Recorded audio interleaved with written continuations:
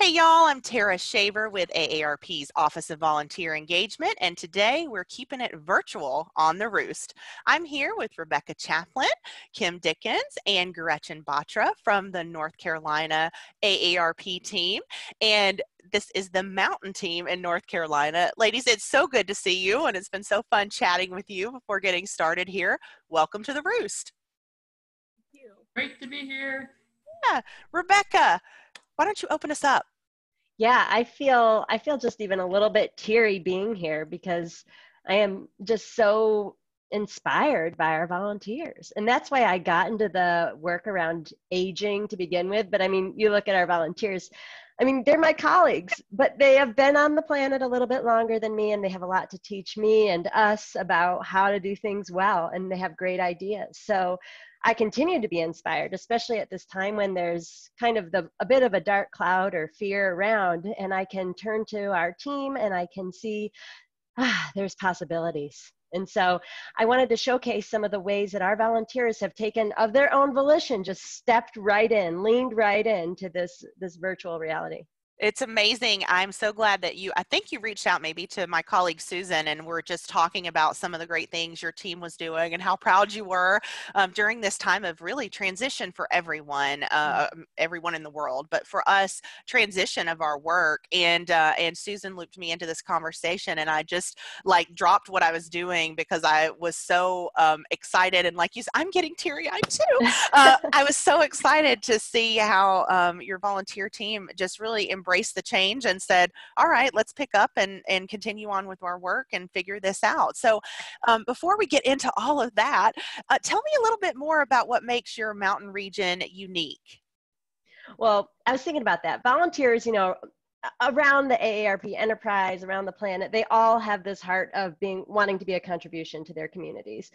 And I feel that there is something unique about the volunteers in North Carolina in the mountain region. There's some, it's like a mountain person thing. It's like there is some steadfast dedication, there's a trustworthiness, there's an integrity, there's a, a, a kindness that comes through in everything that they do that really translates into in-person settings well and i've noticed it really translates into the virtual setting well so um, the more i dive in to our community as it relates to other communities even across north carolina the more i see that there's there's a distinction Nice. And so, how long have you guys been working in the community, and when did you become an official community presence site?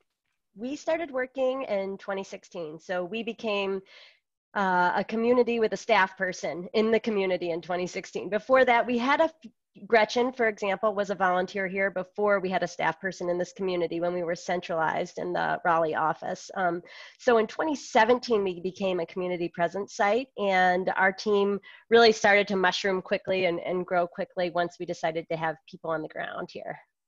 That's amazing. Thank you, Gretchen, for being there before uh, before the staff and doing that great work. That was the way our first community presence site in Tennessee came to be as well. We had a volunteer or a few working really hard. Gretchen, we have to know your cat's name now that we're seeing her or him. This is Cooper. It's a him. Usually he doesn't do this. Usually it's somebody else, the other two cats. But anyway. Cooper and you are um, sporting the exact same hair color, which I find amazing. It's like it was meant to be. so let's get to know your team better. Kim, tell us a little bit about how you found out about volunteering and how you focus your energy um, on the volunteer team there in the mountain region. Well, I had recently moved to the Asheville area from Southern California, so I, other than some family members, which is the reason we moved here, I didn't know anybody. But what I did do was join a Toastmaster club uh, locally because I had done that in Southern California. And one of the other members had heard me talking about looking for some volunteer opportunities.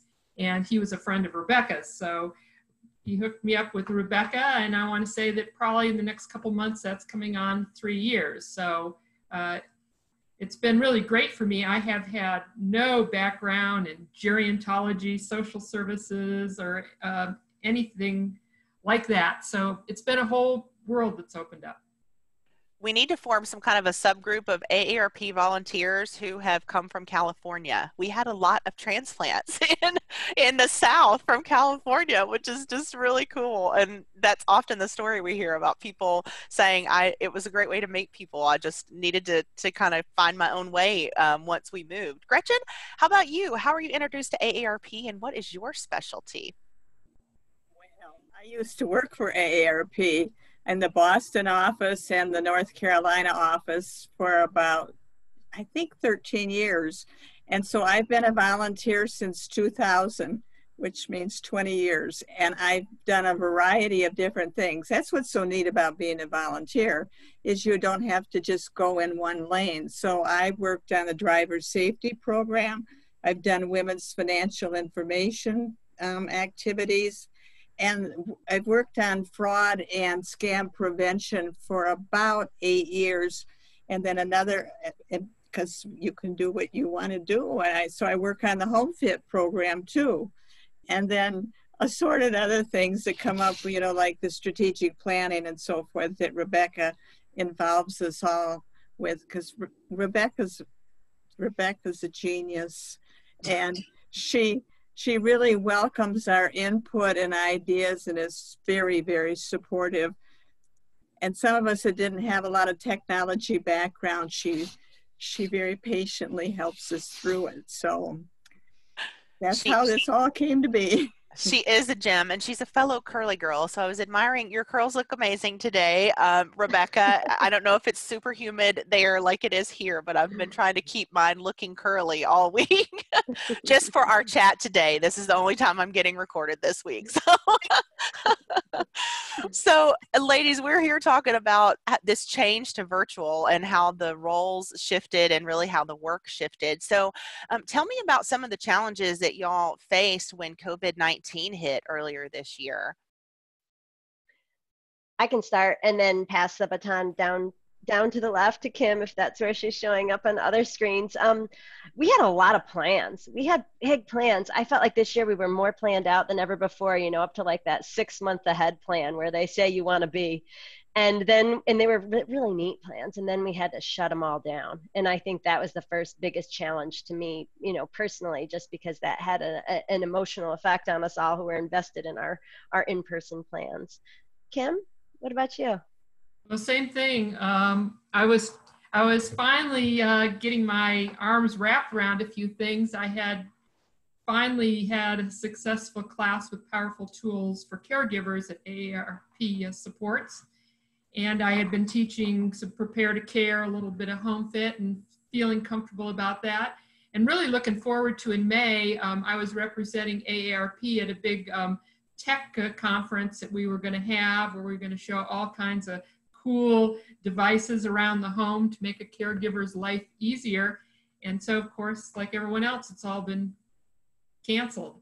But on the other hand, I've learned a whole new world of how to be on Zoom, and Zoom is the way of living now, and that's a skill that I can add to my uh, belt.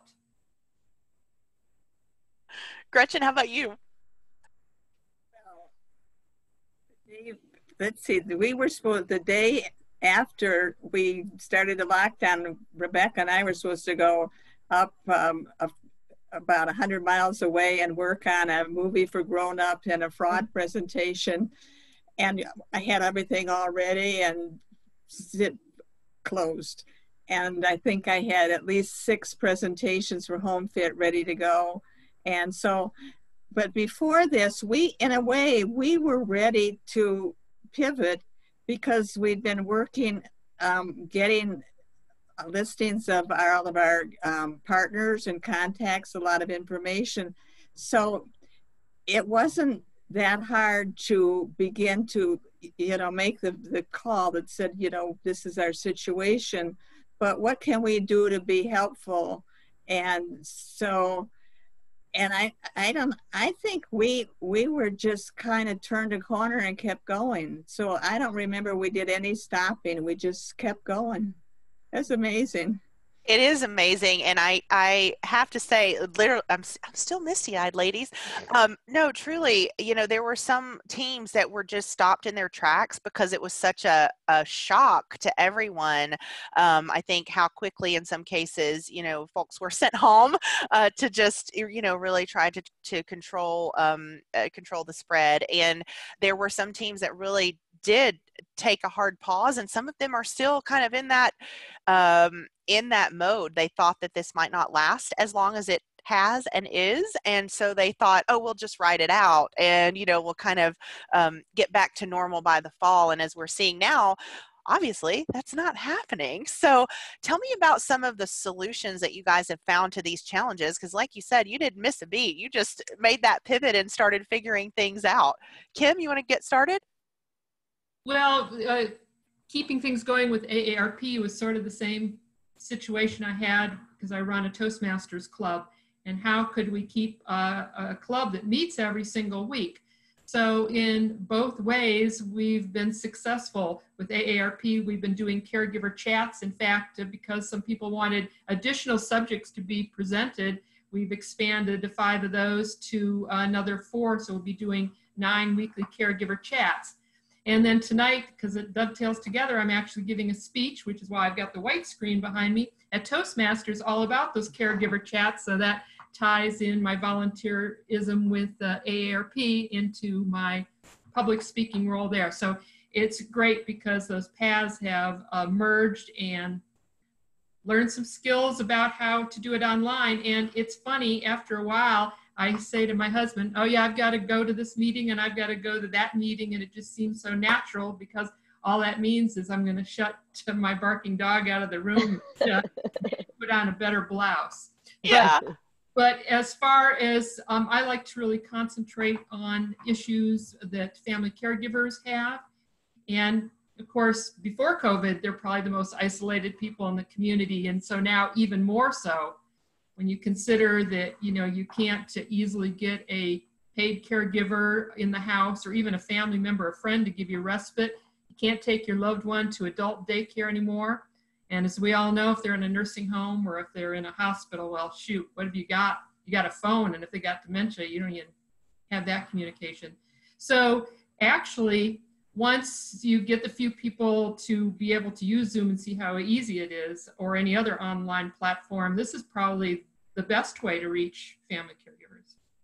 Yeah, I think that's so cool that you um, uh, you saw that right away and that the uh, the other interesting thing and i think we, we might get to this if we don't we'll come back to it but um, is that request for more topics and the frequency. I don't i don't know about you guys but i've seen um, an interest and kind of a trend in folks uh, volunteers and the community asking for more frequency with some of the things we were doing. So we had a team that met monthly and we've been you know we've moved it to a weekly meeting because of just kind of how much is changing all the time but also this need to kind of stay to connect with someone outside your home, right? Mm-hmm. Like to see somebody's mm-hmm. face that's different than the one that you're seeing every day. Or for some people, they're not seeing anybody else and getting to interact with them in that way. So, um, Gretchen, how about you? What are some of the solutions that you've found?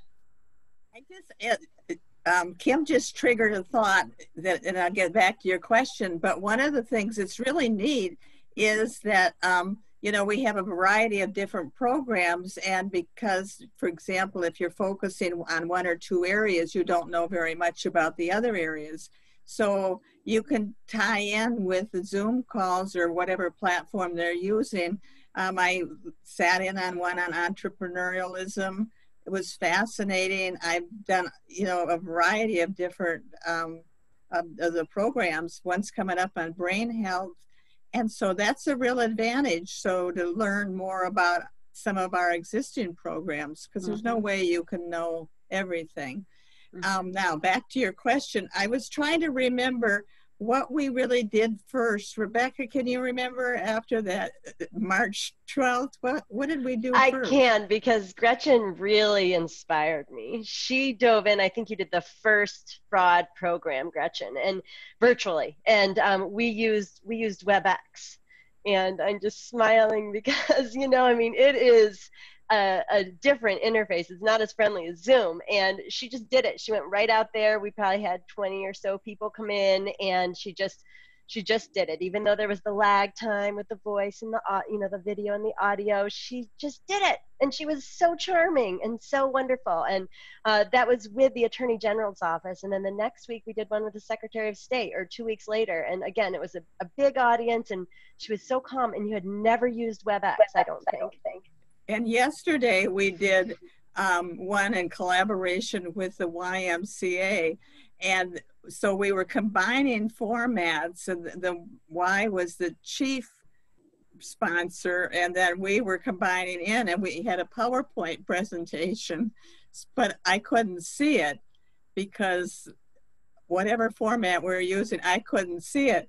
So okay fine. Fortunately i'd kind of written down what each slide had but all of a sudden in the middle of it everything went blank on my screen so I couldn't see Rebecca. And and fortunately, I'd written down kind of a list of what the different slides were, at least a, a word that clued me in. So we were we were really working in the dark that day, but we tried to proceed as if there weren't too many technology problems. It was pretty funny though. You would never know. You would never know that that happened if you were watching it because she just glided right along. I mean, it was remarkable. I was going to say, I think uh, all this thinking on our toes and having to deal with issues like that is probably creating us some new brain pathways and firing synapses we haven't used in a while. So we're probably um, all getting smarter during this time with figuring all of this stuff out and um, incre- increasing the brain health, uh, the, the the health of our brains. There we go.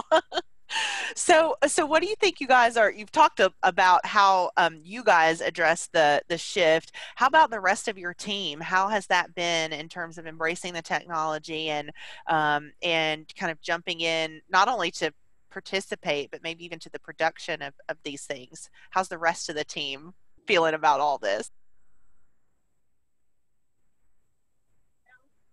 well i'm not muted so I can say this, um, Rebecca got us to have a weekly um, chat that had nothing to do with business, just a get together with volunteers. We could talk about gardening, weather, how we're living under COVID and all that. And that's been really nice to just go on with zero agenda. Anyone wants to, to join. So I think that uh, everyone, I assume that they're probably doing that all across the country, but boy, it's it's nice.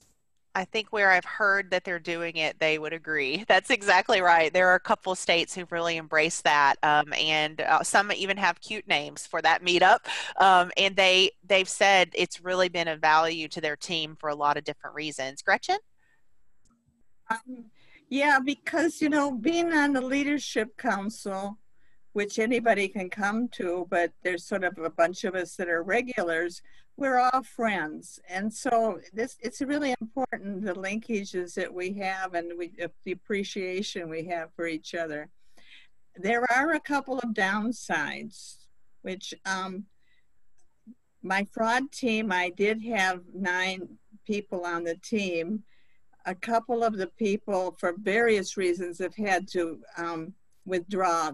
That didn't have anything to do with the technology, but I'm having a hard time nudging people along. So I'm trying to figure out things that Rebecca calls the soft touch, how to adapt some of our things in print and say, can you take this to your local newspaper about this fraud? Or can you be sure to get people to sign up for the Fraud Watch Network? And a variety of different. So I'm trying hard to think of ways to keep them engaged because losing volunteers is, you know, you've worked hard, you've gotten them trained, and so that's an issue.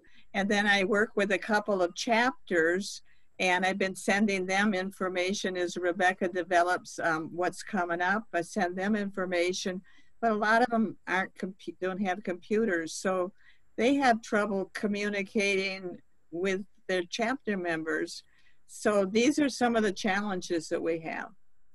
Yeah, I think that um, issue of engagement is something that definitely others are feeling um, because there are some who, as you have done, jumped right to the challenge and said, okay, if we don't know it, we're going to learn it and we'll fake it till we make it and it's going to be great.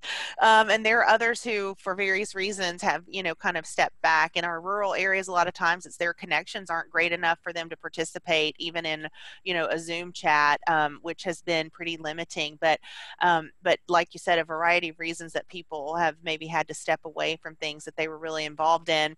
I feel that when one person steps out and you lose a volunteer to, uh, you know, life stuff, it, it's like a breakup or something. It's like a real, uh, it, it hits you really hard because um, you are more than just, you know, people doing work. You really become, form those relationships and, and spend a lot of time together. So, um, yeah, I know others who are listening to us can, can definitely relate to that. So for you guys, um, what are some of the things that you're most proud of uh, about this transition into the virtual space?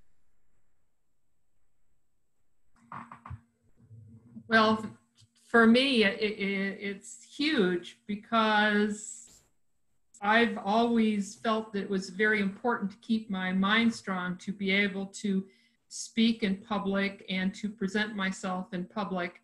And certainly without virtual connections like this, I could see it being a real slippery slope, and I'm sure it is for many. So that's why I do worry about volunteers that have dropped off because they're not probably dropping off to do other volunteer work because AARP's got so many different things to do. But it may be just because they've got a lot of other there's lots to be worried about and concerned about. And if you're watching the news, it's pretty easy to say, I'm just going to shut myself out of the world. But for me, uh, to continue to be able to present myself and speak um, online and have things to research and learn about is the only way I can keep my mind fresh. I'll build on that because I think just the opportunity to learn new things um, around fraud, unfortunately, there's always new information. And I get um, link in with the FBI and the Federal Trade Commission and other it's, it's, Attorney General and so forth. So there's always new information coming in. I feel a little bit overwhelmed with it, especially the new COVID scams. Um, and then the other thing that's sort of fun is when people say, "Oh, Zoom," you know, and I go, "Oh yeah, we've been doing that because we use Zoom for a couple of years for the Leadership Council." And now we're using different pl- platforms. So we, um, again, Rebecca shepherds us along through all of this. But you know, it's really neat to be on some of the cutting edges of, of learning learning things. Just like Kim said, trying to keep learning. Yeah, and like you said, those the scams that as you were talking, I was like, oh, and that opened up a whole new world, even for fraud, the fraud volunteers, and we've got the digital fraud fighters, and there's an episode about that um, on the Roost as well. But just the COVID testing, who would have thought that would have become a scam?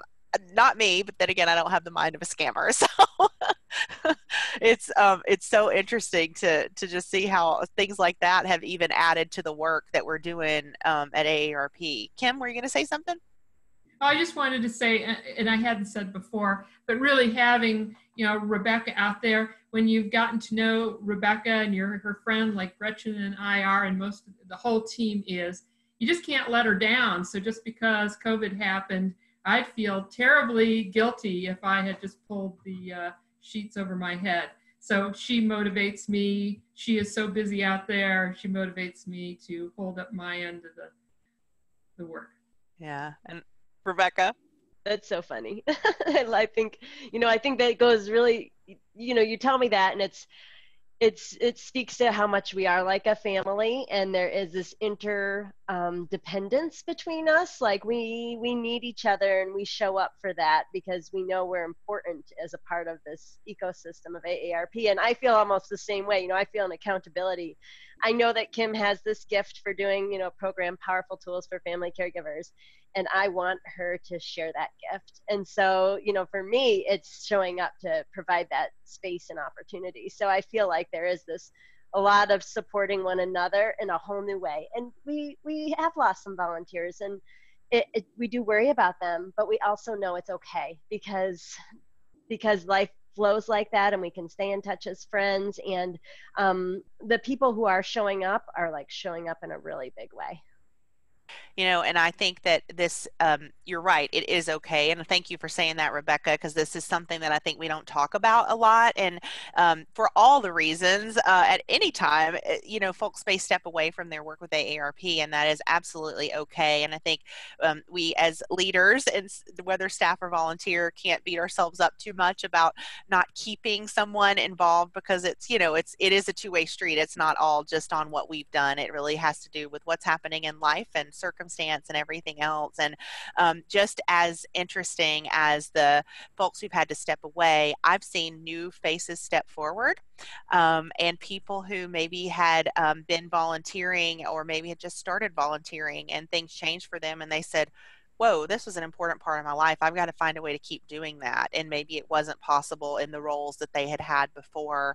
Um, and so they've stepped up and stepped in in a big way. I have five or six volunteers who are totally new to AARP who have joined me on a team that's all virtual. And one of them told us a couple weeks ago um, at the end of the, she said, I just have one more thing to say before we hang up. I'm so happy to meet new people. And we were like, oh, okay. You know, she said, no, for months I haven't met anyone new. I've done lots of Zooming and phone calls and everything else with people that I know.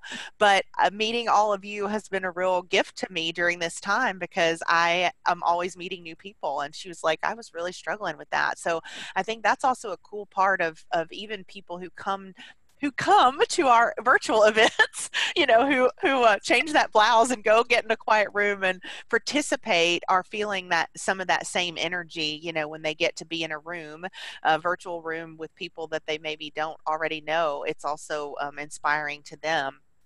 So, um, if we haven't already talked about uh, uh, all of them for you, what have been some of the surprises or the biggest surprises that have come to you as you've moved into this world? Anything that we haven't talked about yet? I'm just surprised at how really easy it is. And I wish I had uh, bought a lot of stock in Zoom a year ago. and I know there's other platforms, but really it's all about if you have the connectivity. And so that the, that's a big issue in the country. But once you have connectivity, really, this is just easy for everyone. Think of all the school teachers trying to herd, you know, kindergartners from a screen. So I've learned that there is really nothing that can happen in our world to stop us from moving forward. Yeah, good observation. Gretchen? I think, I think as we, you know, even when eventually we get through all of this, that some of these um, techniques will continue to use. They just make a lot of sense, not always getting in the car and going somewhere where we, we can connect this way. So and who knows what's going to be evolving in the next few months because um, stuff is oops two cats on here now. Um, i mean stuff is evolving fast. I mean we talk about zoom but now you had one the other day you were talking about rebecca something stream. I hadn't heard of that one. And so there's there's lots of things but the thing that's so nice is so for so many families they're having like reunions with their family members. It's really a gift to to people. Yeah, people are really thinking differently about, uh, the, as you said, you know, Kim. If if folks had realized it was so easy and that there, these possibilities were there, who knows what folks would have done before? Um, and it's that that really brings us to the next question of let's look look to the future a little bit and you know eventually things will go back to normal where we all feel that it's okay to be together in person again um, what parts of this work that you've um, found in the virtual space do you think will stick around well, um, here in the mountains, when it even uh, snows the tiniest bit, it shuts the whole place down. Or if we have excessive rain, of flooding. So I would say that this will be an easy backup to those mm-hmm. in-person meetings. So there won't be anything that ever has to be canceled. And certainly, um, again, not to reiterate too much, but when it comes to family caregivers, here's a group that doesn't have the time to get in their car and drive to a place and meet and be away. Here, you're on this meeting, and suddenly your care receiver has a problem or needs you, you're right there. So I think that it's going to really widen up um, the possibilities for those that may not drive, may have a care receiver, or other health issues that prevent them from going out. Mm-hmm. Mm-hmm. Building on that, because we're in the mountains, um, broadband isn't fully available to everybody. And I think this virus has brought up some of the issues of our, our lack of things. So as we hopefully get more funding from the government or whatever, um, that everybody will will be on an equal platform, and that will really help us in our work a great deal, and help all sorts of people. And I'm just trying to separate these guys, and um, and um, for for everything for for telehealth, for educational opportunities. For so we really need that piece of our um, of our abilities to move forward. Yeah, telehealth. That's that's a, a big deal. Being able to see your doctor virtually in a few minutes. Yes, and not have to drive and wait. and not have to sit there in a waiting room full of you know flu and cold people especially in the fall and winter anyway uh, absolutely uh, i think the people that uh, we were going to talk about it in may at our tech conference like it was something um, really new and i think that virtual reality has done it all sorts of people have had an appointment with their doctor virtually and now it's going to be old hat we're living the tech conference, Kim. yeah, that's what I was thinking. Would you ever have thought you you probably have uh, explored every single thing you were planning to talk mm-hmm. about at the tech conference by now? well, we don't have the virtual pets, which I heard are quite oh, a yes. thing. really? virtual cats and dogs for people who they, you know. Really? Yeah. I'm going to be googling that later to find out. So, um, what are you all looking forward to most when we get back together in person? I think some big hugs will be in order, but I have a feeling we'll see each other in person before the physical touching. So it's going to be it's going to be a slow time to get back to what we did before if we ever do. Will we be in a room but still always distance? We're going to get sort of trained to distance ourselves and I don't know if that's good or bad. It would be interesting. Yeah, that's um, that's something I was I've given a lot of thought to over the last couple of days about how once you kind of get programmed into that, how weird it's going to be to go back to you know what what we've trained ourselves out of is going to be weird. Rebecca, Gretchen, how about y'all? What are you looking forward to? It's it's really fun to do things in person you know if you're doing a presentation a class whatever because you get a lot more feedback. We can't get much feedback this way. Um, so that'll be fun but just rescheduling everything that's had to be canceled um, that's going to be a challenge but we can do it we're ready. It's sort of hard because you kind of got to pull in the reins every so often because somebody says, "Oh, I'm going to go do this, this, and this," and we go, "No, we wait, wait. Um, we can't do any in-person stuff for till the end of the year, at, at the earliest." Yeah. yeah, it's really hard, and I'm looking forward to some of that middle path stuff. I I was dreaming about driving movies like before we got to COVID, and I was just so excited when they said driving movies, they're going to do it, and now they're they're um, they're saying not yet. So I think that whenever they happen, I think drive-in movies are going to be awesome, and I'm excited for it in decent weather.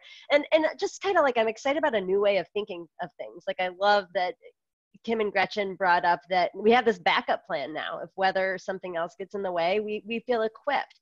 Um, so I'm looking forward to the hybrid. I love that the Secretary of State can pop right into our th- events for 10 minutes, even though she's very busy, and we can get a superstar or, you know, Tara Shaver right here from Tennessee. That only takes a moment. So I love that we can kind of bring these two worlds together, and I'm excited about the innovation that'll lead to. That is for sure. Mm. Um, one of the things that that I've heard from teams saying, even people who said they were resistant to the technology or to the team meetings or whatnot. Um, one person told me a couple weeks ago that they said, I I think we're going to keep our team meetings virtual regardless because we've all realized we're so busy anyway that it's a way that we can all make sure we've got the maximum opportunity to participate and you know they're like eh, like you said and then show up in person when you re- when it's really needed. Um, the thing that I'm looking forward to the most is traveling and getting to be with teams like yours and you know getting to um, to really feel that energy in the room. You feel it a little bit from uh, virtual, but not not it's not quite the same and um, and so that'll be something I'm really looking forward to. But like y'all, I think that blend of what sticks and how people are really thinking differently about what's necessary. Um, the thing that our team has learned is that the length of time we used to require spending with people has been drastically reduced. you know, you're not going to get attention for four hours. You got a 40 minute window, maybe an hour that we we can get people's attention. And so it has really made us rethink what uh, what is important to bring into the room when we're having a, a training or a conversation. So, um, Rebecca, do you have any closing thoughts about your team and the the pivot that you all have made to the virtual world?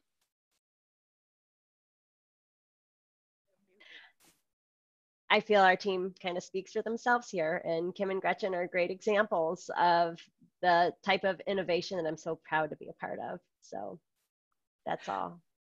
Ladies, anything else you'd like to add before we wrap?